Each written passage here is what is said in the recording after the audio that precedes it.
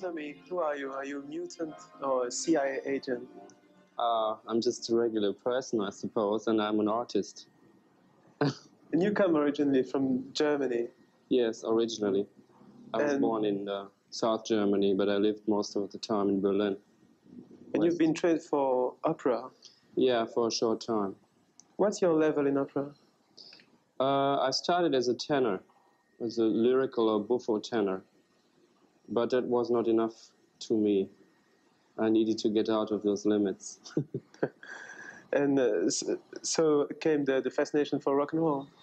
Uh, yeah, I was uh, through a friend. Uh, I was I was originally uh, mostly listening to classical music, and uh, a friend of mine turned me on to rock and roll music, and it was mostly English and American rock and roll. And that was the reason why I went to New York.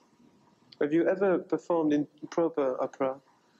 Uh, no, I did a small, a few small concerts, like early Mozart and and and uh, Schumann and Schubert songs, song recital. But I didn't uh, study too long, really. Eventually, we started to hear the rumor from uh, New York, and uh, but you worked there uh, first as uh, in a patisserie. Yeah, uh, patisserie is one of my favorite things. Like I think a lot of other people like that too. Uh, no, I made uh, my living in New York for a while, about two years. I had my own business.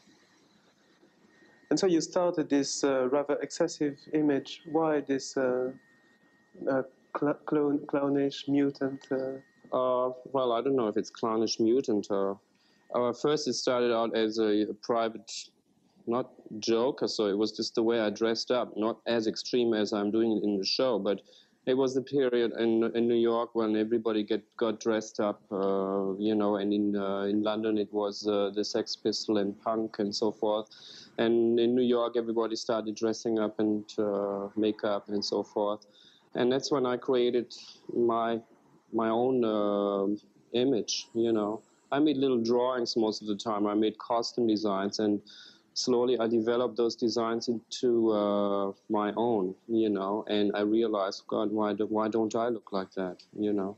It's like you design like Mickey Mouse, and uh, same thing. And there I was, you know.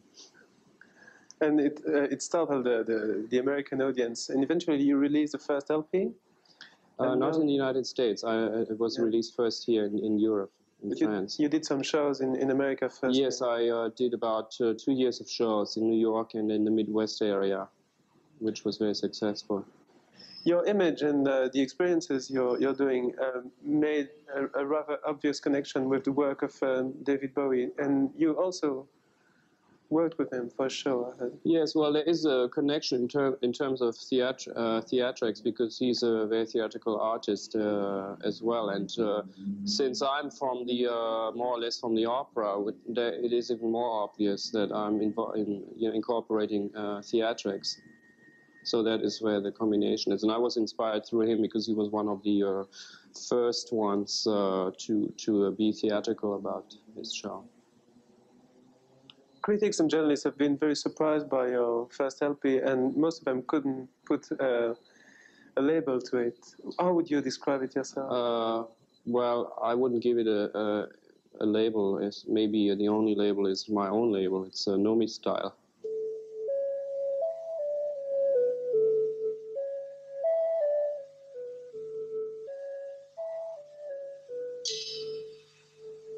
If they saw my